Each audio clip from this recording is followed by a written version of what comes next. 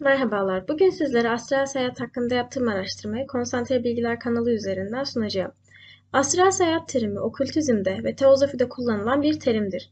Kişinin uyku gibi hallerde parapsikolojiye inanan kişilerce esiri beden ya da astral beden ya da süptül maddelerden oluştuğu söylenen bedeniyle fiziksel bedeni dışında yine bu kişiler tarafından iddia edildiğine göre bilinci yerinde olarak başka mekanlarda dolaşmak üzere yaptığı yolculuğa ve bu bedeniyle geçirdiklerini söyledikleri deneyimlere denir.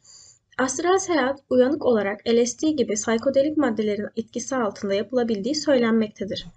Parapsikolojide bu beden dışı deneyim olarak, metapsişikte ise şuur projeksiyonu olarak adlandırılır. İradi olarak gerçekleştirilebilindiği iddiası ve deneyim sırasında bilinçli olunması sebebiyle diğer beden dışı deneyimler arasında özel bir yeri vardır. Astral beden için duvar gibi fiziksel nesneler ve uzaklık bir engel oluşturmadığı ileri sürülür. Yani iddialara göre kişi bu bedeniyle bir anda kıtalar arası yolculuk yapabilir ve maddi engellerin içinden geçebilir. Fiziksel bedenden çıkıldığında öte alem varlıklarının görülebildiği de ileri sürülmektedir. Uyku sırasında yapılan astral seyahatin fiziksel bedene dönüldüğünde bir rüya tarzında anımsandığı söylenmektedir.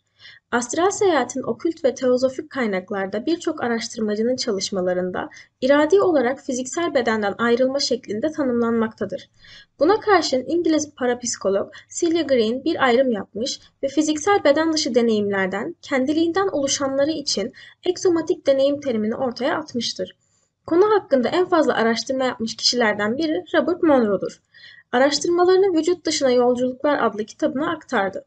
Astral seyahat hakkında ayrıntılı bilgi Astral Seyahat Teknikleri isimli kitapta bulunabilir.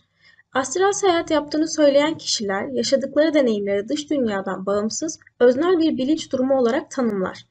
Bunun ötesinde bu olgunun gözlenebilir madde yaşamla iletişime imkan tanıyan bir niteliğe sahip olduğunu savunurlar.